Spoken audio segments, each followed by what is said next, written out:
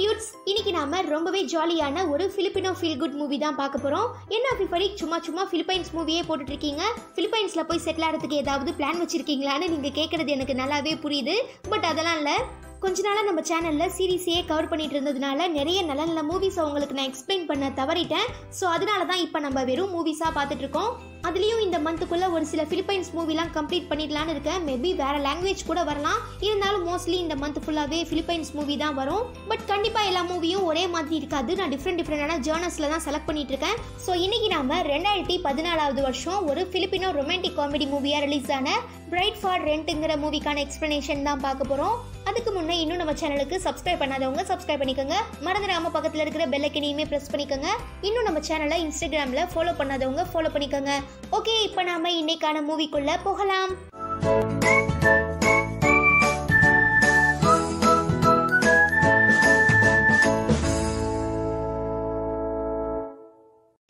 மூவிக்கான opening சீன்ல ரொம்பவே பிரம்மாண்டமா நடக்க போற ஒரு மேரேஜ்க்கான ஹாலை தான் காட்டுறாங்க. என்னதான் நம்ம ஹீரோயின் செம்ம எக்ஸைட்மெண்ட்ல பயங்கர ஜாலியா ஃபன்னா ரெடியானாலும் ஹீரோக்கு இந்த கல்யாணத்துல விருப்பம் இல்ல போல எப்படியாவது பின்வாசல் வழியா தப்பிச்சு வெளியில போயிடலாங்கிற மாதிரி கூட யோசிக்கிறான். பட் இப்ப நம்ம ஹீரோ இருந்துட்டு இருக்க சுச்சுவேஷன்ல கண்டிப்பா இந்த கல்யாணத்தை பண்ணியே ஆகணுங்கிறதுனால வேண்டா வெறுப்புக்கு பிள்ளை பெத்து காண்டா இருக்கோன்னு பேரை வச்ச மாதிரி விருப்பமே இல்லாத இந்த கல்யாணத்துக்கு நம்ம ஹீரோவுமே கிளம்பி போறான். ஆனா நம்ம ஹீரோயினோட சந்தோஷத்தை பத்தி சொல்ல வார்த்தைகளே இல்ல. அந்த அளவுக்கு ரொம்ப ரொம்ப ரொம்ப ரொம்ப ஹாப்பியாக இருக்கா? பத்தாததுக்கு நம்ம ஹீரோவோட பாட்டி வேற ஹீரோயினை தாங்கு தாங்குன்னு தாங்குறாங்க. இதெல்லாம் பார்க்குற நம்ம ஹீரோக்கு செம்ம காண்டாகுது. ஈவன் இதை பார்த்து நம்ம ஹீரோவோட ஃப்ரெண்ட்ஸ் ரெண்டு பேருமே சிரிக்கிறாங்க.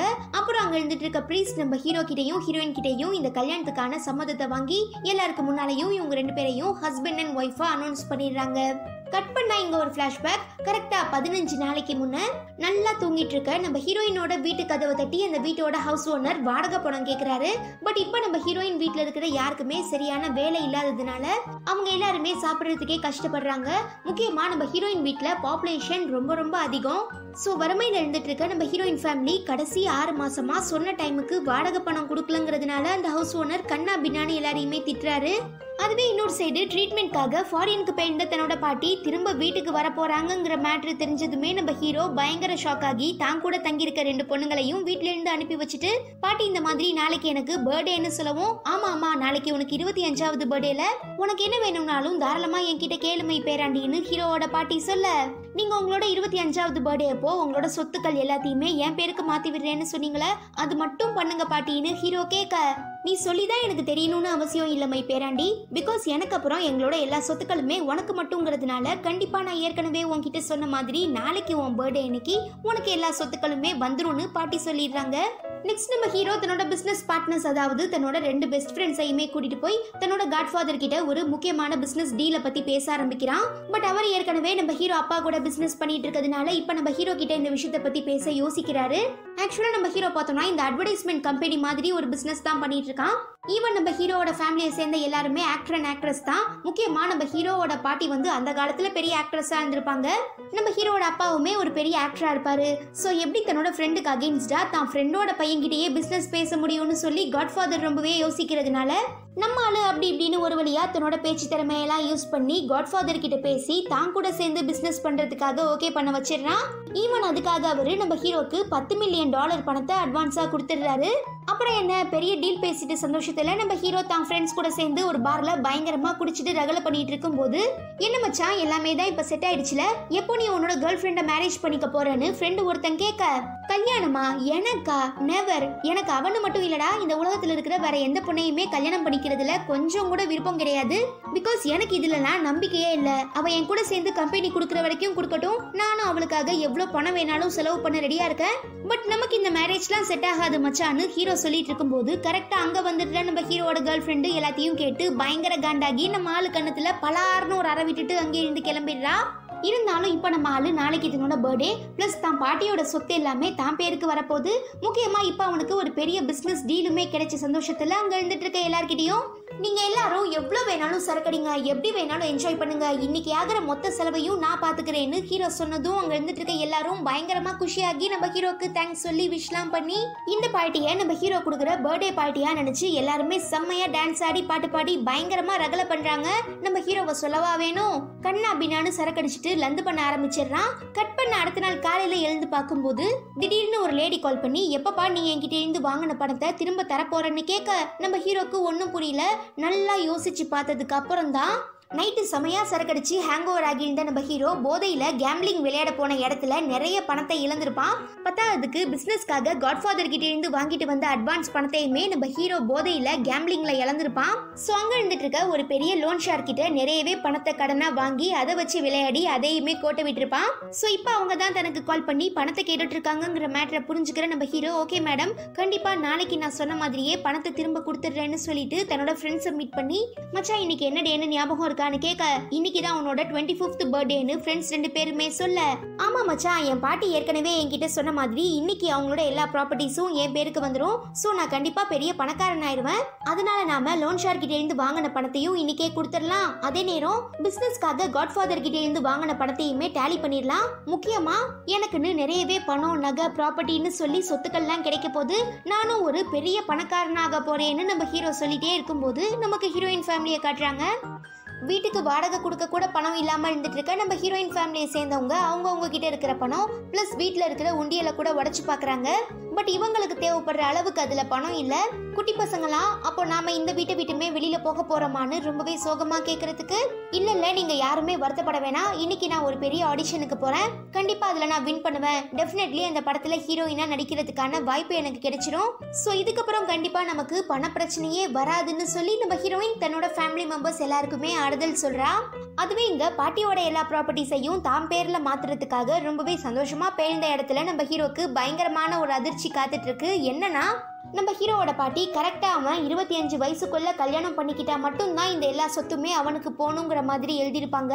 பட் நம்ம ஆளுக்கு பெருசாக இந்த காதல் கல்யாணத்துலலாம் நம்பிக்கை இல்லாததுனால உடனே பாட்டிக்கு கால் பண்ணி இந்த விஷயத்தை பற்றி நீங்கள் ஏன் என்கிட்ட முன்னவே சொல்லலைன்னு கேட்க நான் ஏற்கனவே இதை பற்றி உங்ககிட்ட இன்ஃபார்ம் பண்ணியிருந்தேன். ஆனால் நீ அன்னைக்கு பயங்கரமாக சரக்கடிச்சிருந்ததுனால நான் சொல்கிற எதையுமே நீ கேட்கலன்னு பாட்டி ஹீரோவை கோத்து விட்டுடுறாங்க. என் செல்லோன்ல புஜ்ஜியில் உங்கள் ஆசை பேராண்டிக்காக நீங்கள் இதை மட்டும் ட்ராப் அவுட் பண்ண முடியுமான்னு ஹீரோ கேட்கவும் அதுக்கெல்லாம் வாய்ப்பே இல்லை ராஜா. உன்கிட்ட நான் வேற ஏதாவது கஷ்டமான விஷயத்தையா சொன்னேன். ஒரு நல்ல பொண்ணா பார்த்து கல்யாணம் பண்ணிக்கிட்டு சீக்கிரமா என் கையில ஒரு கொள்ளு பேரனையோ இல்ல கொள்ளு பேத்தியையோ பெத்து கொடுக்க தானே சொல்றேன்.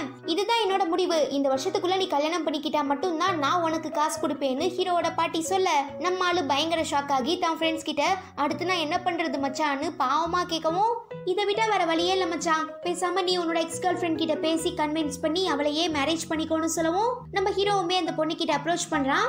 என்னதான் ஸ்டார்டிங்ல அவ ரொம்பவே ஸ்வீட்டா பேசினாலும் டக்குன்னு சந்திரமுகியா மாறி ஹீரோ கணத்துல பலார்னு ஒரு அரவிட்டு சி போடா நான் என்ன சொல்லி திட்டி அங்கிருந்து விரட்டி விட்டுறதுனால?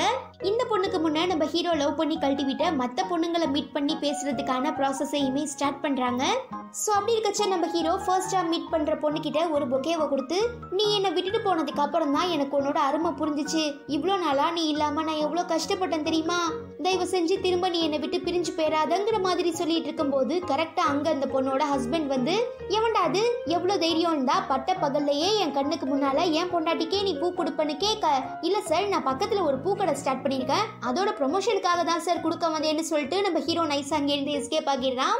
நெக்ஸ்ட் ஒரு பொண்ணை மீட் பண்ணுறான் அது ப்ரெக்னெண்ட்டாக இருக்கிறது மட்டும் இல்லாமல் ஏற்கனவே அவளுக்கு நாலஞ்சு குழந்தைங்க வேற இருக்காங்க. ஸோ அந்த குழந்தைங்க நம்ம ஹீரோவை பார்த்துட்டு அம்மா அம்மா இவர் தான் எங்களோட புது அப்பாவான்னு கேட்கவும் எனது அப்பாவான்னு சொல்லி கத்திக்கிட்டே நம்ம ஹீரோவும் ஃப்ரெண்ட்ஸும் அங்கேருந்து ஓடிடுறாங்க. அடுத்து ஒரு பொண்ணை மீட் பண்றதுக்காக போகும்போது அங்க பையன் இருக்கிறதுனால என்னப்பா அந்த பொண்ணு இல்லையான்னு கேட்கவும் ஏய் ரோக்கோ மாமே நான் தாண்டா அந்த பொண்ணு. நீ என்னை கழட்டி விட்டுட்டு போனதுக்கு அப்புறம் வெக்ஸ் ஆகி நானே ஒரு பையனா மாறிட்டேன்னு சொல்லி இந்த பொண்ணு நம்ம ஹீரோ தலையில ஒரு பெரிய குண்டு தூக்கி போட்டுடுறா. இங்க நம்ம ஹீரோயின் ஆடிஷன்ல பெர்ஃபார்மன்ஸ் பண்றாங்கிற பேர்ல ஜட்ஜஸ் எல்லாம் மண்டக்காய விட்டு கொலையா கொன்னுட்டு இருக்கா. தென் நம்ம ஹீரோ ரொம்பவே சோகமா என்ன இதெல்லாம்? தன்னை மேரேஜ் பண்ணிக்க ஒரு பொண்ணு கூட ஒத்துக்க மாட்டேங்கிறான்னு சொல்லி ரொம்பவே சோகமா இருக்கும்போது நம்ம ஹீரோவோட ஃப்ரெண்டு ஹீரோ பாட்டியோட போட்டோவை காட்டி பேசாம நாம இவங்கள யூஸ் பண்ணிக்கிட்டா என்னன்னு கேட்க அடே நல்லா பாடுறா அது என்னோட பாட்டின்னு ஹீரோ சொல்ல. ஆமா உன் பாட்டி தான்.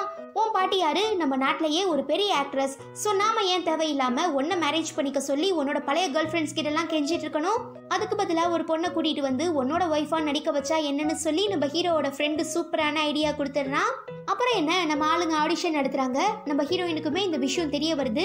நான் ஏற்கனவே சொல்லியிருக்கேனே நம்ம ஹீரோவோட அப்பா பாட்டியெல்லாம் பெரிய பெரிய ஆக்டர் அண்ட் ஆக்ட்ரஸ்னு ஸோ நம்ம ஹீரோவுமே கிட்டத்தட்ட ஒரு செலிபிரிட்டி மாதிரிங்கிறதுனால நம்ம ஹீரோயினுக்கு ஆல்ரெடி ஹீரோ மேலே பயங்கரமான க்ரஷ் இருந்திருக்கும்.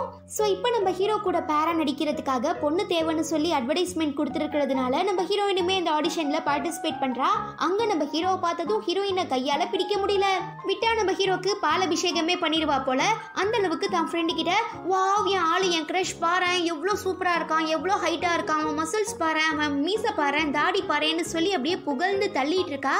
ஆனா நம்ம ஹீரோக்கு ஆடிஷனுக்கு வந்திருக்க பொண்ணுங்களோட பெர்ஃபார்மன்ஸ் எதுவுமே திருப்திகரமா இல்ல. ஒரு பொண்ணு பார்த்தோம்னா ஓவர் ஆக்டிங் பண்ணுது ஒன்னு ரொம்பவே ரூடா பிஹேவ் பண்ணுது.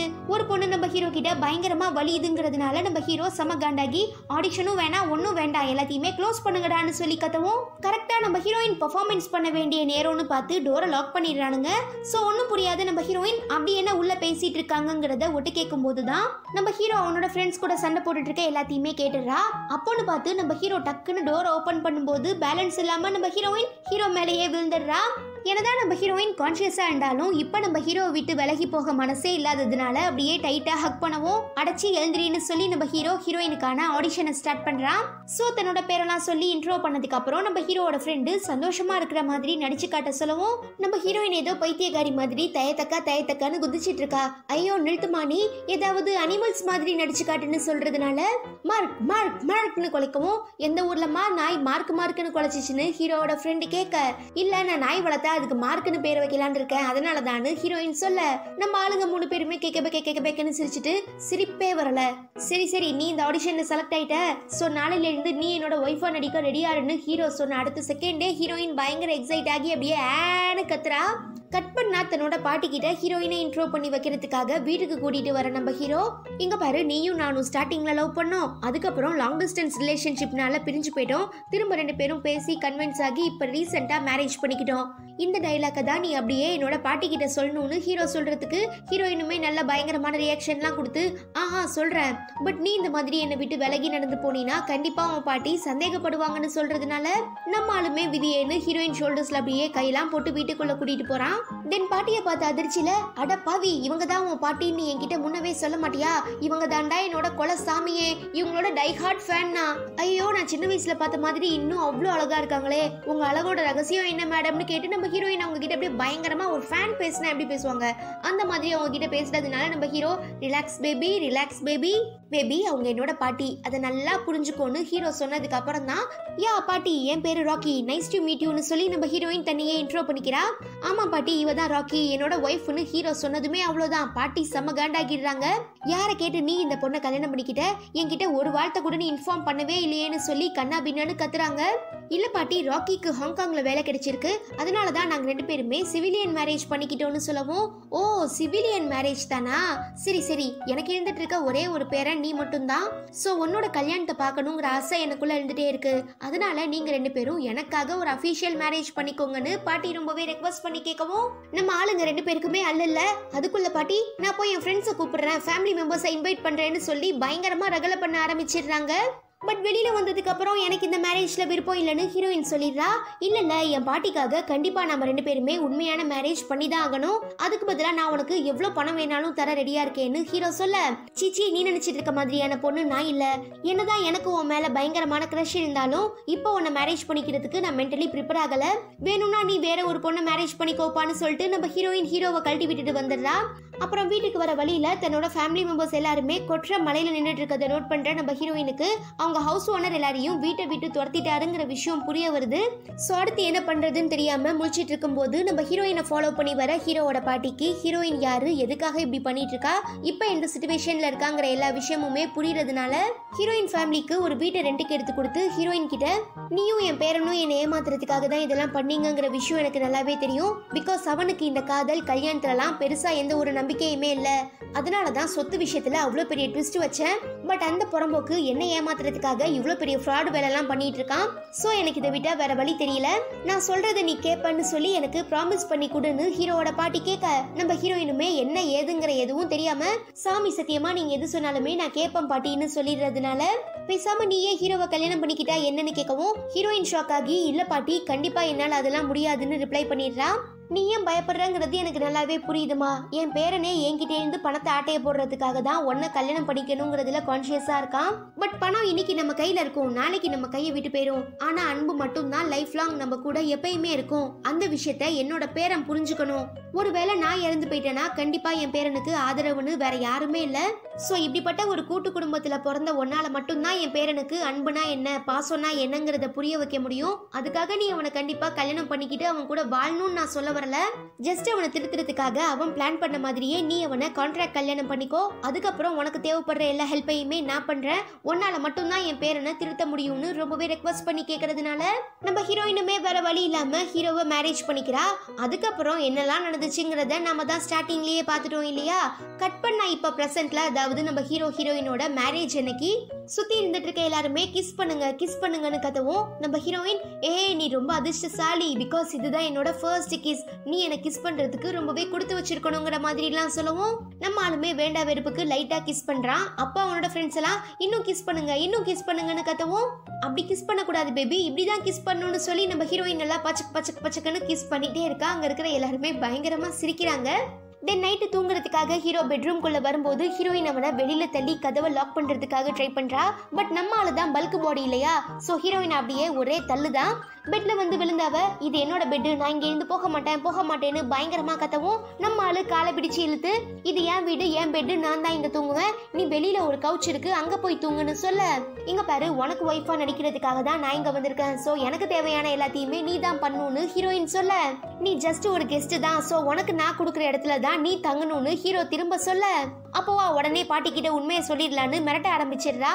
அடுத்த நாள் காலையில் தனக்கு கல்யாணம் ஆகிடுச்சுங்கிறதுனால நம்ம ஹீரோ பாட்டியோட சொத்து எல்லாத்தையுமே தான் பேரில் மாத்துறதுக்காக போய் பார்க்கும்போது அந்த இடத்துல இன்னும் பயங்கரமான ஒரு ட்விஸ்ட்டு இந்த மாதிரி ஹீரோக்கு மேரேஜ் ஆன உடனே நான் அவனுக்கு பர்டிகுலர் அமௌண்ட்டை மட்டும் தான் கொடுப்பேன். அதுக்கப்புறம் அந்த பொண்ணு கூட அவன் எத்தனை வாரம் சந்தோஷமாக வாழ்கிறானோ அத்தனை வாரத்துக்கும் பத்து பத்து மில்லியன் டாலராக நான் அவனுக்கு கொடுத்துட்டே இருப்பேன்னு சொல்லி பாட்டி உயில் எழுதியிருக்காங்க. பயங்கர கேடி நம்ம ஹீரோ. தன்னோட பாட்டிக்காக ஹீரோயினை மேரேஜ் பண்ணுற மாதிரி மேரேஜ் பண்ணிக்கிட்டு சொத்து எல்லாத்தையுமே தான் பேரில் எழுதி வாங்கினதுக்கப்புறம் ஹீரோயினை நைஸாக கழட்டி விட்டுடலான்னு பிளான் பண்ணியிருப்பான் பட் இப்போ பாட்டி இந்த மாதிரியான ஒரு ட்விஸ்ட் வச்சதுனால ஹீரோக்கு வேற வழியே இல்லை. ஹீரோயின் கூட வாழ்ந்து தான் ஆகணும். அதுவே இங்கே ஹீரோயின் முகத்தில் ஹீரோ ஏதோ புலிக்குட்டி மாதிரி வேஷம்லாம் போட்டு விட்டுருக்கான் பட் நம்ம ஹீரோயினுக்கு தெரியாது இல்லையா? அப்போ கரெக்டாக நம்ம ஹீரோயினோட அப்பா கிட்ட இருந்து கால் வரதுனால ஹாங்காங்ல வேலை பார்க்குறதா போய் சொல்லிட்டு வந்திருக்க. நம்ம ஹீரோயின் அப்பா நான் உங்களை ரொம்பவே மிஸ் பண்ணுறேன்ப்பா இங்கே இருந்துட்டு இருக்க எல்லாருமே சைனீஸ் பேசுறதுனால எனக்கு ஒன்றுமே புரியலன்னு சொல்கிறது மட்டும் இல்லாமல் ஏதோ அவளை சுற்றி சைனீஸாக இருந்துட்டு இருக்க மாதிரி அந்த மாதிரி எல்லாம் பேசி காட்டிட்டு இருக்கா இதை நம்பி அப்பாவுமே பார்த்துமா ரொம்ப கேர்ஃபுல்லாக இரு. நாங்கள் எல்லாருமே உன்னை ரொம்ப மிஸ் பண்ணுறோன்னு சொல்லவும் ஹீரோயினுமே அப்படியே பயங்கர எமோஷனல் ஆகிடுறா. அதுக்கப்புறம் தான் நம்ம ஹீரோ முகத்தில் வரைஞ்சு வச்சிருக்கிறத நோட் பண்ணி அட கக்கரவா பிடிச்சவனே ஏன்டா இந்த மாதிரிலாம் பண்ணுறேன்னு சொல்லி பயங்கரமாக கத்திடுறா. தென் நம்ம ஹீரோயின் நடந்த எல்லா விஷயங்களையும் பாட்டிக்கிட்ட சொல்லிடுறதுனால ஹீரோ வீட்டுக்கு வந்ததுக்கப்புறம் ஏண்டா ஏன்டா எடுபட்ட பையலே கல்யாணம் ஆகி மொதல் நாளே பொண்டாட்டியை இப்படி தான் தனியாக விட்டுட்டு போவியா? உன் தாத்தா இது வரைக்கும் என்ன ஒரு நாள் கூட இந்த மாதிரி எல்லாம் விட்டுட்டு போனதில்ல. உனக்கெல்லாம் எதுக்குடா கல்யாணம்னு கேட்க? இல்லை பாட்டி என் பொண்டாட்டி கிட்ட நான் இன்ஃபார்ம் பண்ணிட்டு தான் போனேன். என் செல்லமா நான் உன்கிட்ட சொல்லலையான்னு ஹீரோ கேட்க. ஆமாண்டா நீ என்கிட்ட முன்னவே சொல்லலடான்னு சொல்லிட்டு நம்ம ஹீரோயின் அங்கே எழுந்து எழுந்து போகவும் இப்படிதான் பொஸ்கு பொஸ்க்குன்னு என் பொண்டாட்டி சம்மந்தமே இல்லாம கோச்சுப்பான்னு சொல்லி பாட்டிக்கு முன்னவே நம்ம ஹீரோ ஹீரோயினை சமாதானம் படுத்துறதுக்காக மடியிலலாம் உட்கார வைக்கிறான். அப்போ நம்ம ஹீரோயின் இந்த மாதிரி நீயும் நானும் இப்போ புது வாழ்க்கை ஸ்டார்ட் பண்ணியிருக்கோம் ஸோ நான் இதை இப்படியே ட்ராப் அவுட் பண்ண விரும்பலை. அதனால ஹாங்காங்ல இருந்துட்டு இருக்க என்னோட வேலையை நான் ரிசைன் பண்ணிட்டு இதுக்கப்புறம் உனக்கு ஒரு நல்ல ஒய்ஃபா நம்ம குழந்தைங்களுக்கு நல்ல அம்மாவா இருக்க போறேன்னு சொல்லவும் நம்ம ஹீரோ இது நம்ம லிஸ்ட்லயே இல்லையேங்கிற மாதிரி பார்க்குறான் பத்தாததுக்கு இந்த எல்லா பிளானையுமே பக்காவா போட்டு கொடுத்த நம்ம பாட்டி ஹீரோக்கு முன்னால எதுவுமே தெரியாத மாதிரி ஹீரோயின் அப்படியே ஆஹா ஓஹோன்னு பயங்கரமா புகழ ஆரம்பிக்கிறாங்க. அது மட்டும் இல்லாமல் புதுசாக மேரேஜ் ஆன நீங்கள் புது வீட்டில் தான் உங்கள் புது வாழ்க்கையை ஸ்டார்ட் பண்ணணும்னு சொல்லி நம்ம ஆளுங்களுக்கு ஒரு பெரிய வீட்டையுமே கிஃப்டாக கொடுத்துட்றாங்க.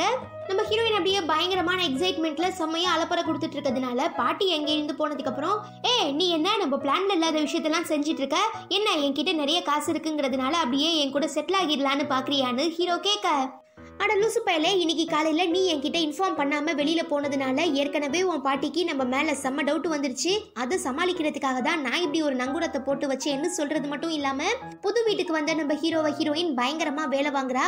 ஒரு கட்டத்துக்கு அப்புறம் ரொம்பவே டயர்ட் ஆகி இன்னைக்கு நான் பெட்ல படுத்துக்கிறேன்னு ஹீரோ சொல்ல no no no no no ரூல்ஸ்னா rules தான்.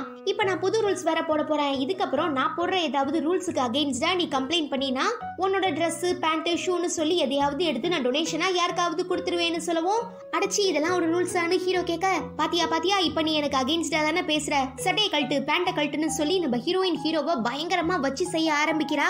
அட போடி இப்படி டெய்லி உன்கிட்ட சண்டை போட்டுக்கிட்டு ஒரு அடிமையாக வாழ்றதுக்கு பதிலாக நான் ராஜா மாதிரி ஏதாவது ஹோட்டலில் போய் ஸ்டே பண்ணிக்கிறேன்னு சொல்லி நம்ம ஹீரோ பெட்டி பெடிக்கையெல்லாம் எடுத்துட்டு வெளியில வரும்போது பாட்டி அப்படியே இருட்டில் பேய் மாதிரி நிற்கவும் நம்ம ஹீரோ பயந்து போய் கத்திடுறான்.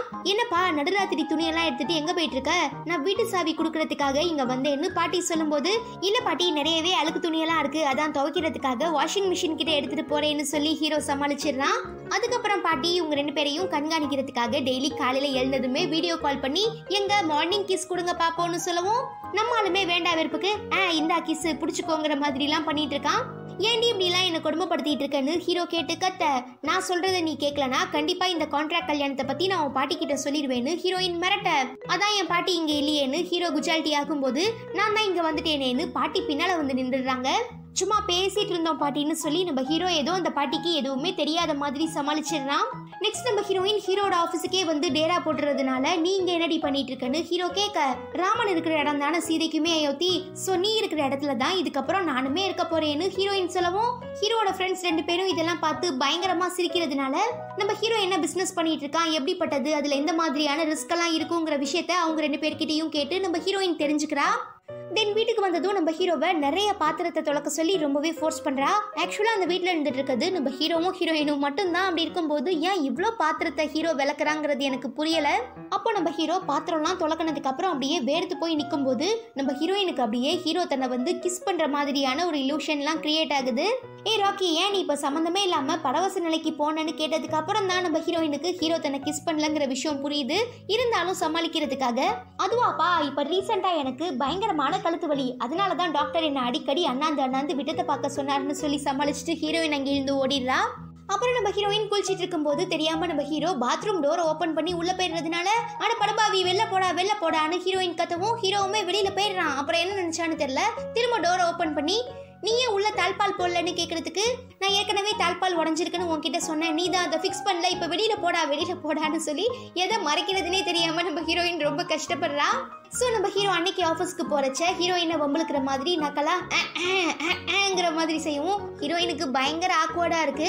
அப்போ நம்ம ஹீரோட ஃப்ரெண்டு உன் பாட்டிக்கிட்டே இருந்து இந்த வீக்குக்கான செக்கை நீ வாங்கிட்டியான்னு கேட்கும்போது இல்லை மச்சான் நான் லாயர் கிட்ட பேசியிருக்கேன். இன்னும் எப்படியும் ரெண்டு நாளைக்குள்ள செக்கு கைக்கு வந்துடும்னு சொல்லவும் கண்டிப்பா இதுக்கப்புறம் நம்மளால மேனேஜ் பண்ண முடியாது. பிகாஸ் கிளைண்ட்ஸ் எல்லாருமே நமக்கு கால் பண்ணி ஃபோர்ஸ் பண்ண ஆரம்பிச்சிட்டாங்க.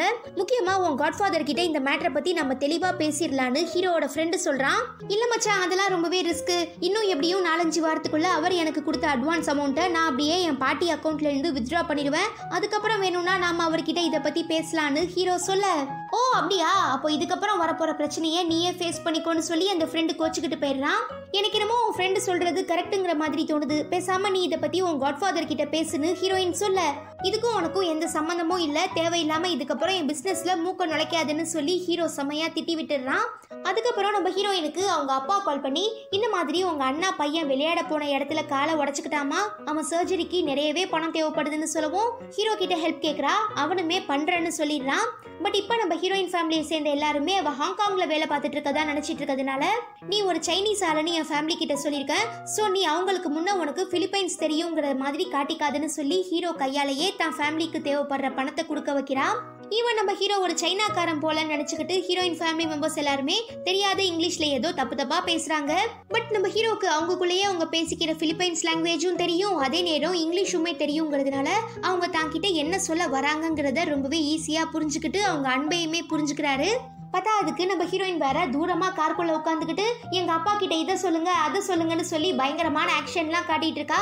ஆனா நம்ம ஹீரோவோட ஃப்ரெண்டுக்கு எதுவும் புரியாம ஏதேதோ வளர்றதுனால ஆத்தி இப்படியே விட்டோம்னா கண்டிப்பா குடும்பத்துல ஒரு பெரிய குட்டி கலாட்டாவே நடந்து போயிரும்னு சொல்லி நம்ம ஹீரோ உடனே ஹீரோயினுக்கு கால் பண்ணி கொடுத்துறதுனால நம்ம ஹீரோயின் அப்பா கிட்டயும் அண்ணா கிட்டயும் என்ன சொல்லணும்னு ஆசைப்பட்டாலோ எல்லாத்தையும் சொல்லிட்டு எனக்காக நீங்க ஹீரோவை ஹக் பண்ணுங்கன்னு சொல்றதுனால அப்படியே நம்ம ஹீரோவோட அண்ணாவும் அப்பாவும் ஹீரோவை பாசமா ஹக் பண்றாங்க.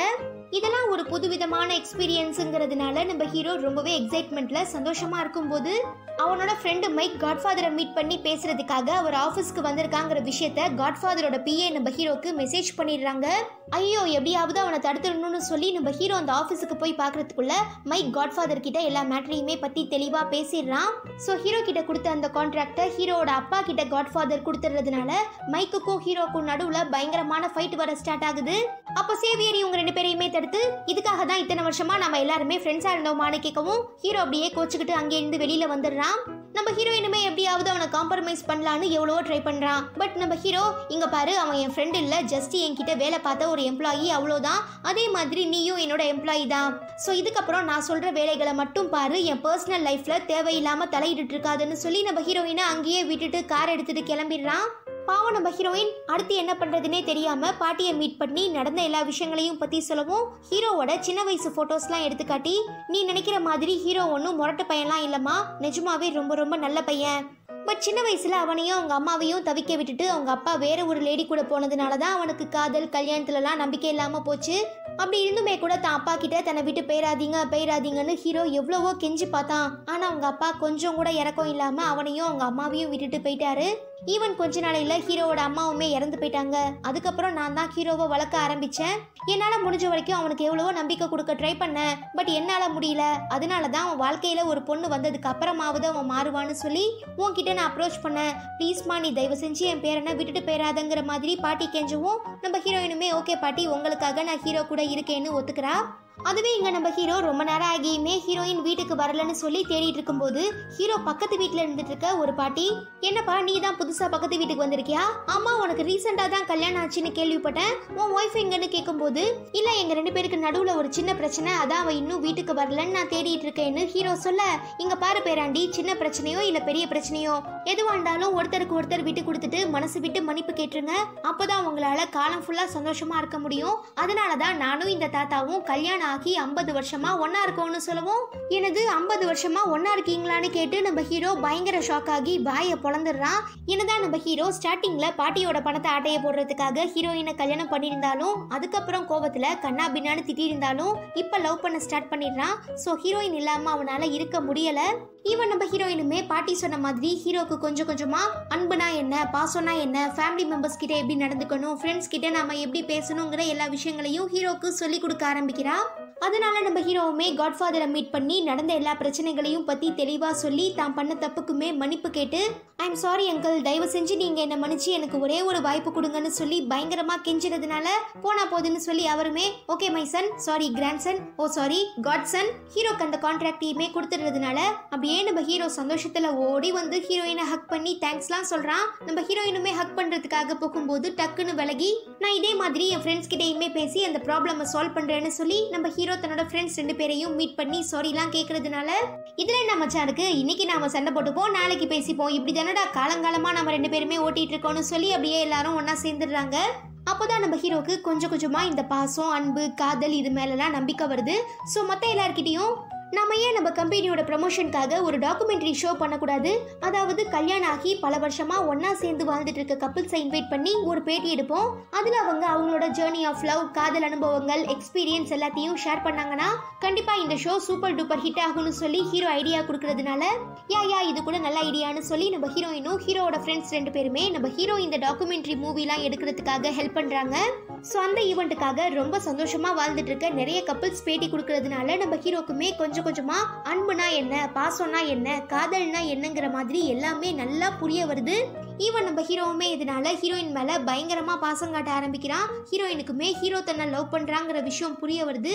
ஹீரோவோட பாட்டிக்குமே புரியுது. அப்படி இருக்கச்சே நம்ம ஹீரோயின் ஹீரோயின் வீட்டு பக்கத்துல இருந்துட்டு இருக்க அந்த தாத்தா பாட்டியை இன்டர்வியூ பண்ணும்போது தான் இந்த மாதிரி தாத்தாக்கு அம்னீஷியா இருக்கு. ஸோ எல்லா விஷயங்களையுமே சீக்கிரமா மறந்துடுவாரு அதனாலேயே நிறைய பேர் என்ன தாத்தாவை டிவோர்ஸ் பண்ணிட்டு வர சொன்னாங்க. பட் நான் அவரை மேரேஜ் பண்ணும்போது கஷ்டமோ நஷ்டமோ கவலையோ துக்கமோ சந்தோஷமோ அதிர்ஷ்டமோ வறுமையோ எதுவா இருந்தாலுமே அவர் கூட தான் கடைசி வரைக்கும் இருப்பேன்னு சொல்லி ப்ராமிஸ் பண்ணியிருந்தேன்.